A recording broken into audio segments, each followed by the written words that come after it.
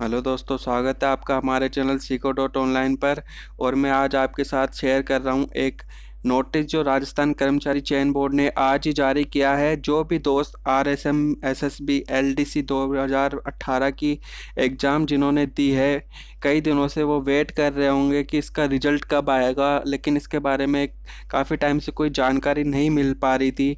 लेकिन आज ही राजस्थान कर्मचारी चयन बोर्ड ने एक नोटिस जारी करके इसकी एग्ज़ाम डेट को फाइनल करा है। तो दोस्तों, बिना किसी टाइम वेस्ट के मैं आपको दिखाता हूँ कि नोटिस क्या है। देखिए दोस्तों, राजस्थान कर्मचारी चयन आयोग चयन बोर्ड ने एक नोटिस जारी किया है। तारीख भी आप देख सकते हैं, छब्बीस दो दो हज़ार उन्नीस।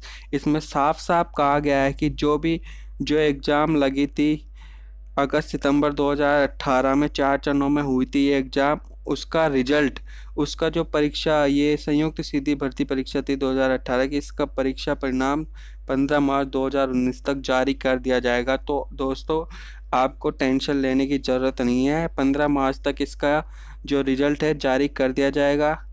तो ये थी आज की इन्फॉर्मेशन दोस्तों। उम्मीद है आपको पसंद आई होगी। पसंद आई तो आप इसे शेयर करें ताकि और भी जो लोग वेट कर रहे हैं इस एग्ज़ाम का, उन्हें पता चल सके और वो निश्चित हो सके कि ठीक है, पंद्रह मार्च 2019 को रिज़ल्ट आएगा। उससे पहले वो परेशान ना हो।